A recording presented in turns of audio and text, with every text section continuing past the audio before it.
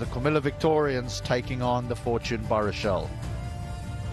So, but it was Mukidul at the bottom, 5 for 23. The first time that there is a five wicket haul in this edition of the BPL. Well, Fortune Barishal never really got off uh, to a good start. They were rocked by early wickets, but really, but well, Mukidul, the man who got five wickets, started off in that fashion. Really good slog sweeps. And this was Iftikhar. It was reviewed and given. And then Mahmudullah. He was looking good. Again, the slower ball. For Andre Russell. Looking leg side, getting caught offside. That was the end of Mehidy for 17. Janat was brilliantly caught by Tanveer Islam at short third. That was a wonderful catch.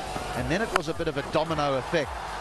Mohammad Wasim walked in and very first ball pulled this down to deep mid wicket, which was easily held in the deep.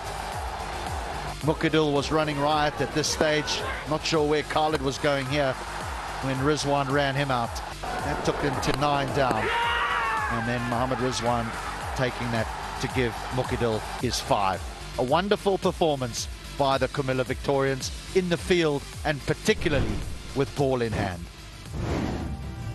Five for 23, the best bowling in this edition of the Bangladesh Premier League. Yes, Nahidul Islam, four for six, very economical.